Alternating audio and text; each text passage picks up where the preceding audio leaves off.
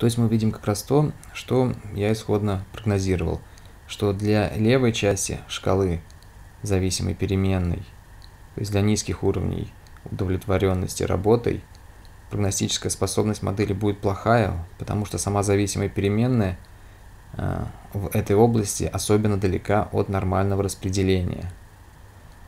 В области положительной она ближе к нормальному распределению, поэтому высокие уровни счастья хорошо прогнозируются. Вот, допустим, посмотрим как раз на человека с высоким уровнем счастья.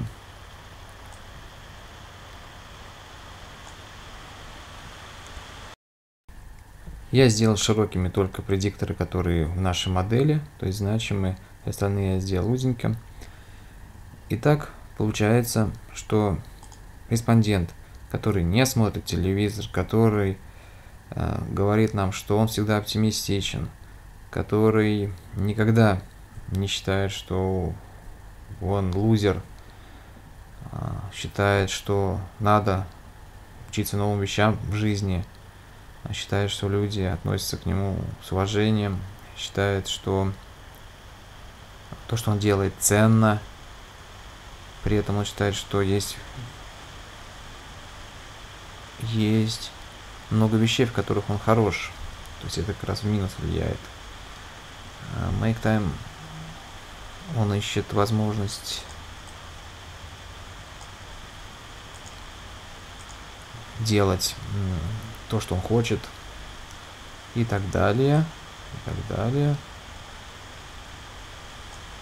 Он очень удовлетворен балансом между работой и другими видами деятельности.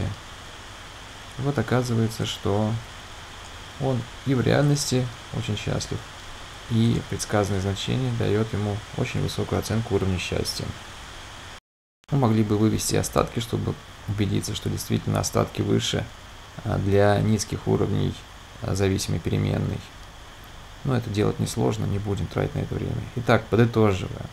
Если у вас есть категориальные предикторы, вы можете их использовать в линейной регрессии в качестве предикторов, только если сделаете из них дихотомические перемены. Вы можете их сделать дихотомическими, объединяя градации или создавая новые переменные для каждой категории исходной категориальной переменной.